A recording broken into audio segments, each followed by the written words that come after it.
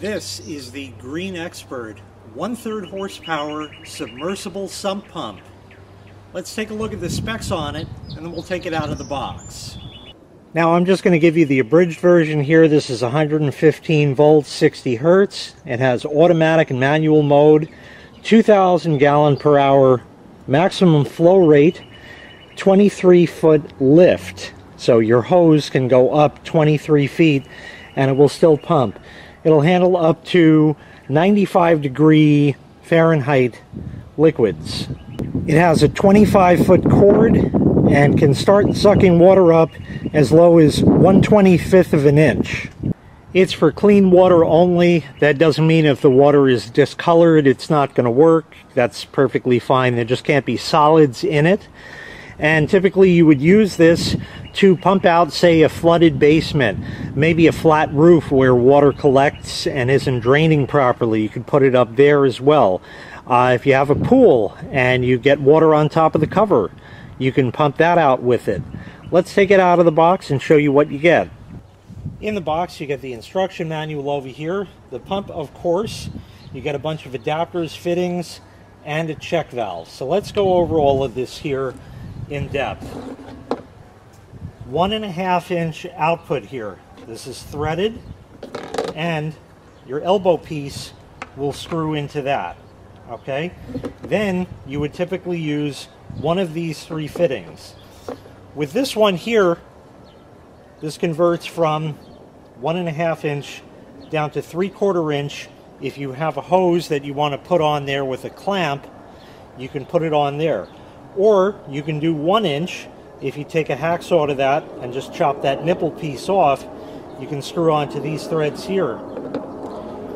This one here is the one that most people are going to be using. This is the hose thread. And this one here is the pipe thread. These are both three quarter inch. You'll see they fit together and they're the same size. But take note of the threads here. Finer thread coarser thread.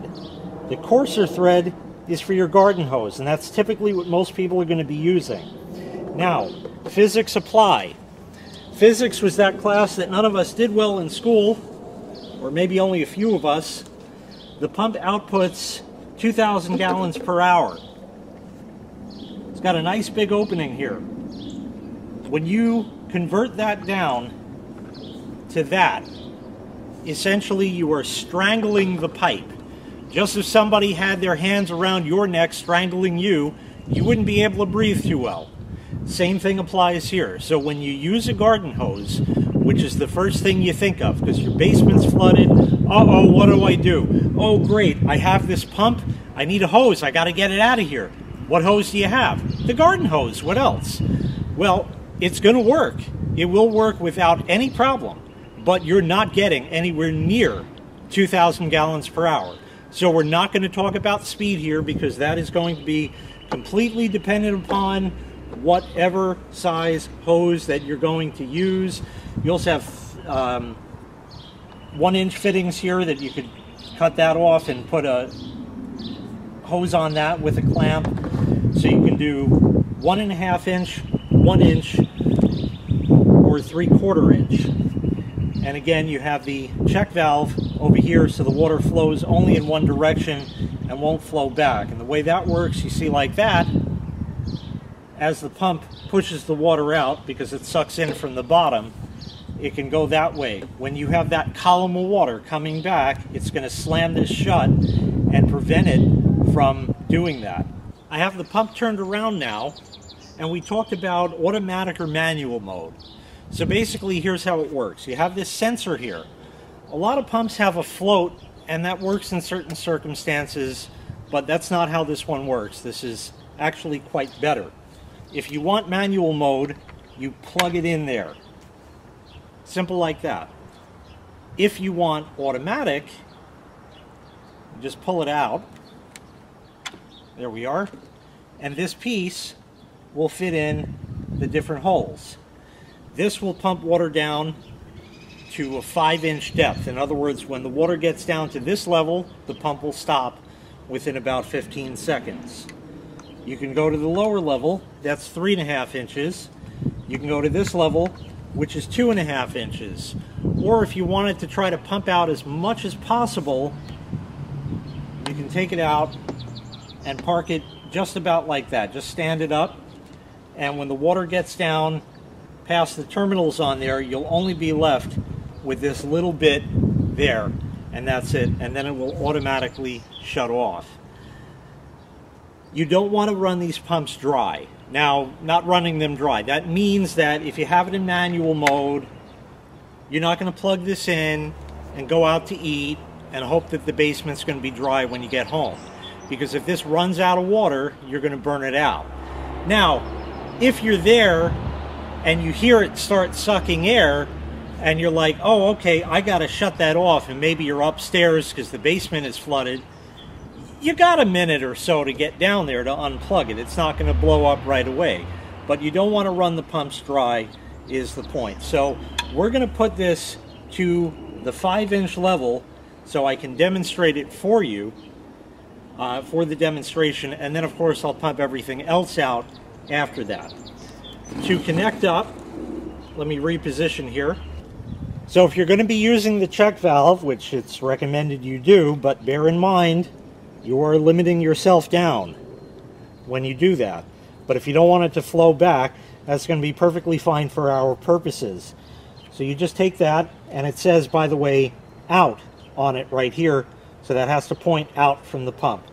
So that is going to go in there just like that. Any old way doesn't matter which orientation, it's just fine. We'll get the elbow. We're going to screw that in. Right there will be great. And I'm going to be using, of course, a garden hose because that's what I have available. And that is going to screw on right over here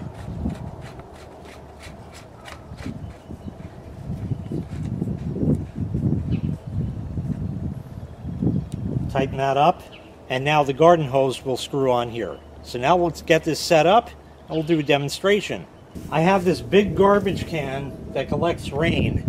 A lot of people said, just drill a hole in the bottom. I said, well, then it's always going to leak stuff out.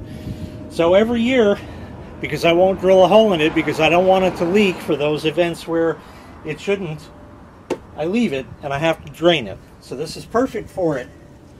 The whole pump, like I said, is submersible. So we'll take that and we're going to put it in all the way down to the bottom.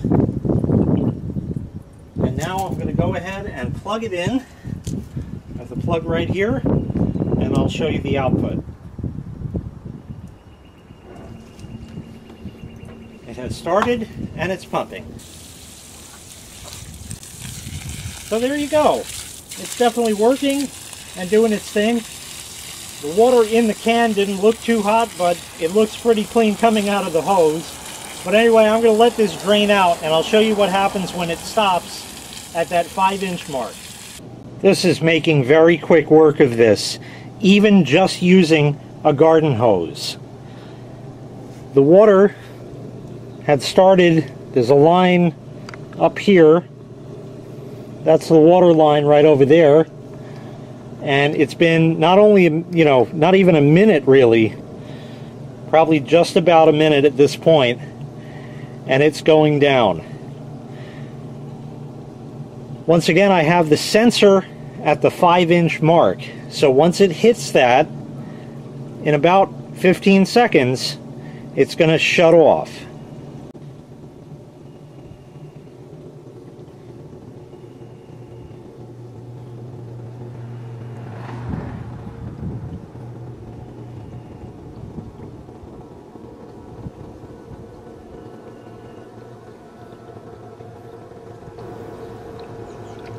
We're just clearing the sensor now.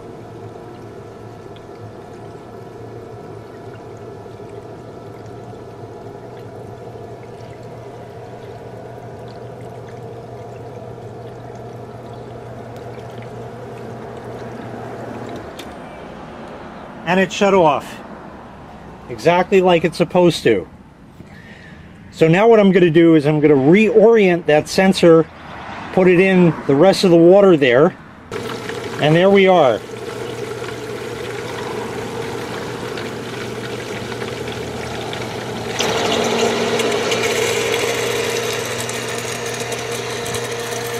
Now, depending on, I have leaves in here, so that may trick the sensor. So I'll make sure that that's out of the water, and it should stop within about 15 seconds.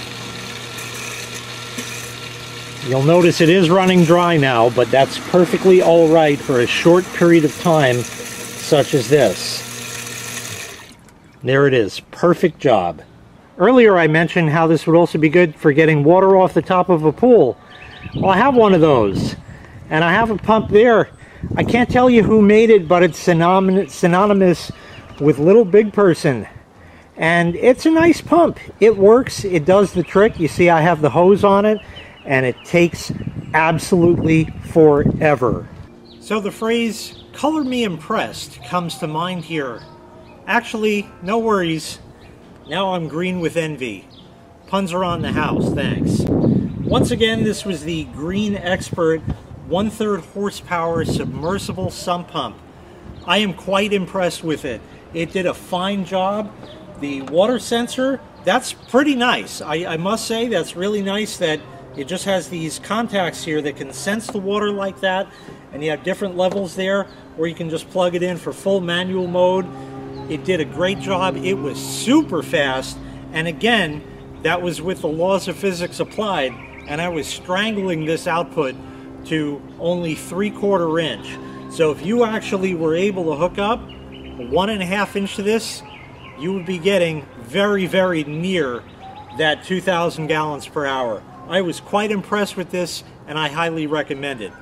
If you'd like to purchase this item, I'll leave a link in the video description where you can find the item available for sale on Amazon. Thanks for watching. Make sure you click like Make sure you click subscribe and take care. We'll see you next time. Bye bye.